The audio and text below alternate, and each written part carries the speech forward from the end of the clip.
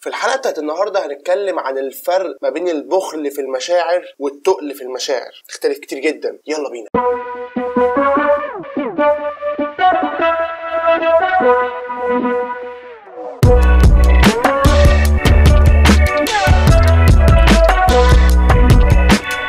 يا شباب عاملين إيه؟ يا رب تكونوا بخير لو أول مرة تشوفني أنا كده معايا في مقدم محتوى ستار motivation speaker ادخل كده خد لك لفة. وعندي قناة gaming ثانية كده ادخل كده شوفها كده هتعجبك جدا جدا. ولو عجبك المحتوى ما تنساش تعمل like و share و subscribe. ويلا بينا نبدأ على طول في موضوع الحلقة. في ناس مفكرة إن لما أنت تبخل في المشاعر فأنت كده بتتقل في المشاعر بتتقل في العلاقة فأنت كده جامد جدا. لا تفرق جامد جدا البخل عن التقل. دي حاجة ودي حاجة. فإحنا نتكلم بقى ونشوف إيه الفروقات بتاعتهم. البخل اللي في المشاعر ده اللي هو المفروض أنت ما بتديش أصلا أو بتاخد بس يعني اللي هو بتاخد اهتمام بتاخد حب بتاخد أهمية بتاخد كل حاجة من الطرف الثاني إذا كان بقى ولد أو بنت أو انت ولد أو بنت فأنت خد بقى الكلام على نفسك وأنت ما بتديش أي حاجة خالص ولا بتدي اهتمام ولا بتدي كلام ولا بتدي حب ولا بتدي أي حاجة خالص. ده بخل وده غير التقل في المشاعر أو التقل في العلاقة. فكرة إن أنت تقيل بتدي الحاجة بحساب بتدي الحاجة في الوقت المعين ما تديش حاجة في الوقت المعين تحسبها كده. عارف إمتى تجيب البنت إمتى أنت تجيبي الولد؟ مثلا بكلمة بحاجة أنت عملتيها كده ده اللي هو بذكاء اللي أنت تقيلة في المشاعر أو أنت تقيل في المشاعر. غير إن أنت بخيل أصلا ما بتديش أي حاجة خالص جبله حرفيا. ولازم تعرف بس قبل ما نبدأ في أي حاجة إن كل حاجة بحدود ولا اللي هو مدلوق قوي قوي ولا اللي هو جبله وبخيل قوي قوي. عشان بس نبدأ بس إيه كده ونشرح بقى الموضوع من أوله. وبرده خلينا متفقين إن كل اللاينات اللي عندنا اللي هنتكلم عليها النهارده هي مرتبطة بالذكاء. يعني كل لاين هتلاقيني بقول لك بذكاء. ماشي؟ يلا بينا بقى على طول. أول حاجة ادي اللي عندك بذكاء. وده يعني إيه؟ يعني دي الفكرة اللي أنا قلت عليها إنك تدي المشاعر اللي عندك بذكاء مش بحدود بذكاء تفرق. يعني إمتى تقول مثلا بحبك إمتى تقول كلمة حلوة إمتى ما تقولش إمتى تقول لها يلا نخرج إمتى؟ الحاجات دي بتتحسب بذكاء. عايزة الوقت المعين عشان تعرف تجيب اللي قدامك إذا كنت بنت أو إذا كنت ولد. وعملنا فيديو بعنوان علاقة من طرف واحد هتلاقيه هنا.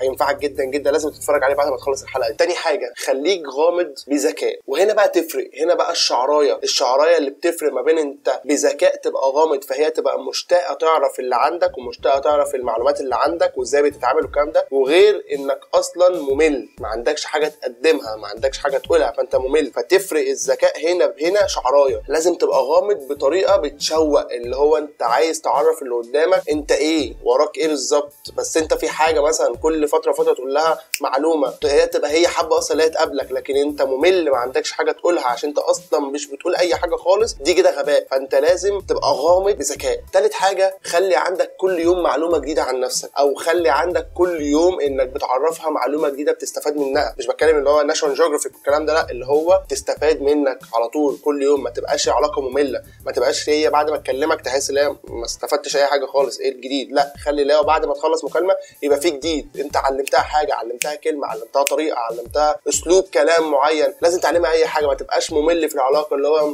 إزيك عامله إيه؟ الحمد لله أنا عملت أكل النهارده. الحاجات دي مملة مع أول مرة تاني مرة تالت مرة خامس عاشر 11 خلاص بتلاقي إن خلاص العلاقة مسخت قوي فملهاش طعم كده فلازم يبقى فيه جديد كل مرة. رابع حاجة ودي أنا مؤمن بيها جدا جدا سوق العلاقة اللي أنت فيها بذكاء مش بالعضلات. في ولاد غبية جدا وأنا بصراحة بشفق عليهم اللي هم بيبقى ماشيين العلاقة بالعضلات بالزعيق باللي هي أنا هخوفها مني اللي أنا عشان كده راجل فأنا لازم أخوفها مني أنا بغير عليها. في فرق إنك تبقى خايف عليها وتخوفها منك. دي فرق كبير جدا إنك تكون أنت بتحسسها إن أنا أنا خايف عليكي وفي فرق إن أنا أنا أنت خليكي خايفة مني. كلتا الحالتين تسمع كلامك يعني خلينا متفقين أنت كلتا الحالتين لو انت خايف عليها فهي هتحترمك فتسمع كلامك والناحية الثانية انت بتخوفها فهي برضه بتسمع كلامك. بس الفرق بقى في المعاملة بعد كده هي تبقى محترمة الحتة دي فيك ان انت خايف عليها بتمشي العلاقة بذكاء تبقى إمتى مثلا تقول لها اللي انت غيران من لبسها إمتى اللي انت تقول لها مثلا غيران اللي هي مثلا بتكلم حد فلاني فهي من نفسها تلقائيا هتلاقيها اللي هي احترمت حاجة زي كده وعملتها فانت كده مشيت العلاقة بدماغك مشيت العلاقة وعملت اللي انت عايزه بس بذكاء بحت. لكن الناحية الثانية الزعيق ضرب اللي هو فكرة بقى أنا أخوفك مني فهتعملي الحاجة دي مع أول ولد بيحترمها أو بيقول لها كلمة حلوة أو بيمشي العلاقة بذكاء هتلاقيها إن هي فكست لك خالص وراحت. وتتلاقي ليه بقى سابتني يا زميلي بقى وليه بقى وفي غدر الفراق بقى ونولع لك شمعة والكلام ده؟ بس هي يعني طبيعي جدا. أنت مش عارف تدير علاقة هي مخنوقة معاك هي خايفة منك. فلما لقيت اللي يطمنها مع السلامة يا صاحبي بقى. خامس حاجة بقى ودي مقولة يعني أنا بقولها دايما لأصحابي الموضوع لو أنت فكرت فيه مش محتاج حاجة over قوي. يعني هي مش كيمياء العلاقة اللي أنت تدخل بيها مع أي حد هي مش كيمياء هي بس بتبقى عايزة sense عايزة موازنة بيلعبها كده زي توم جيري. لكن فكرة بقى اللي أنت بقى حاطط بقى الموضوع في دماغك بقى وكيمياء بقى وأكلمها إمتى وأقول إيه وما أقولش إيه لأ هي هتلاقي إن الموضوع معقد قوي بالنسبة لك. فأنت خلي الموضوع بسيط جدا وماشي ب sense والكلام ده يا باشا بقى ماشي على كل حاجة. إمتى تقفش؟ إمتى تعدي؟ إمتى تبقى صاحبها؟ إمتى تبقى حبيبها؟ إمتى تغير؟ إمتى ما تغيرش؟ إمتى تتكلم وأنت متضايق؟ إمتى تتكلم وأنت طبيعي جدا؟ إمتى تبان إن أنت غيران قوي قوي قوي وما ينفعش ومش هينفع يعدي الحوار ده؟ وإمتى اللي هو عادي ممكن اعديها المرة دي. اللي هو انت تمشي علاقة بده ده لو مشيت بيه اقسم بالله اللي قدامك هيبقى بص بتاعك ومش هيبقى مش, هي- مش هيحس بحاجة زي كده خالص. بس أهم حاجة بده. آخر حاجة بقى ودي مسج للولاد بحب أقولها لهم يعني إن لو أنت فكرت في الموضوع البنات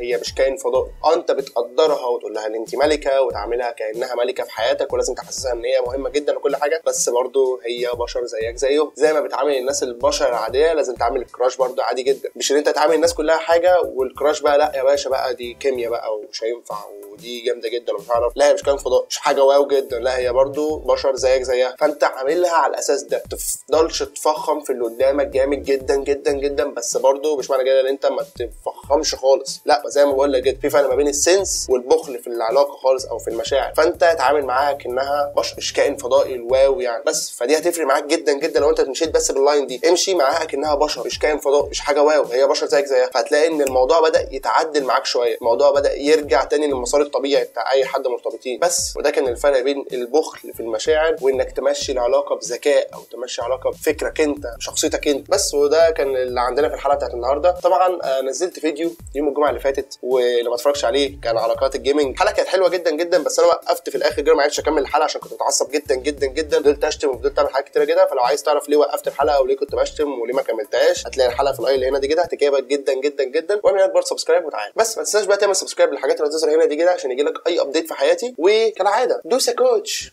السلام عليكم.